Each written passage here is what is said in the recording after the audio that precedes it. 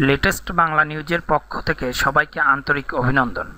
মুক্তিযুদ্ধে বিজয়ের পর এবার মাথাপিছু জিডিপিতে পাকিস্তানকে টপকে গেছে বাংলাদেশ।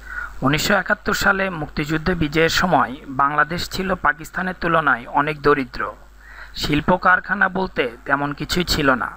ওই সময় মোট দেশজ উৎপাদনে জিডিপি বাংলাদেশের শিল্প খাতের অবদান ছিল ছয় থেকে সাত শতাংশ।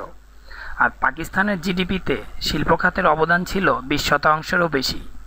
যুদ্ধে বাংলাদেশের সড়ক ও রেল যোগাযোগ ব্যবস্থা প্রায় ভেঙে পড়ে। লাখ লাখ মানুষ উদ্বাস্ত হয়ে যায়।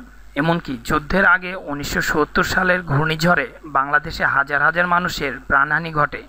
বাংলাদেশের স্বাধীনতায় নেতৃত্বদানকারী বঙ্গবন্ধু শেখ মুজিবুর রহমান তখন অভিযোগ করেছিলেন, পশ্চিম পাকিস্তানে গমের বাম্পার ফলন হলেও তার ভাগ তখনকার পূর্ব পাকিস্তানে পাঠানো হয়নি। এমনকি নিহত মানুষদের জন্য কফিনের কাপড়ও দেয়নি পশ্চিম পাকিস্তান।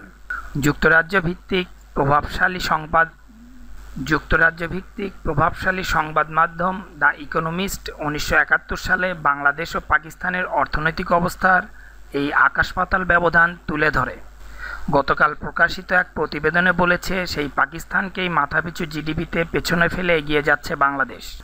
এখন বাংলাদেশের মানুষের মাথার পিছু জিডিপির আকার পাকিস্তানের চেয়ে বেশি।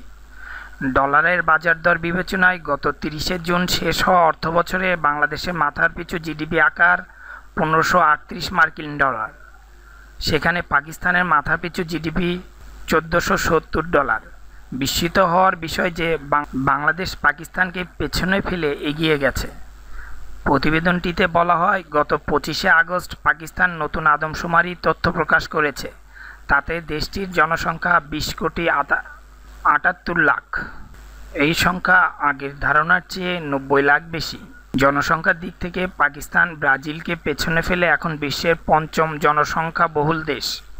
ইকোনমিস্ট বলেছে বাংলাদেশের অর্থনৈতিক অগ্রগতি উদযাপনের এখন একটি ভালো সময়। এক দশকের বেশি সময় ধরে বাংলাদেশে বার্ষিক অর্থনৈতিক প্রবৃদ্ধি হয়েছে ছয় শতাংশেরও বেশি হারে। দুই বছর ধরে তা সাত শতাংশ ছাড়িয়েছে। বাংলাদেশের জিডিপিতে শিল্প খাতের অবদান এখন উনত্রিশ শতাংশ। এক সময় যে বাংলাদেশ কফিনের কাপড়ের অভাব ছিল, তারা এখন এমন পরিমাণ তৈরি পোশাক রপ্তানি করে যা ভারত ও পাকিস্তানে মিলেও পারছে না। For latest news, please subscribe my channel. Thank you everybody.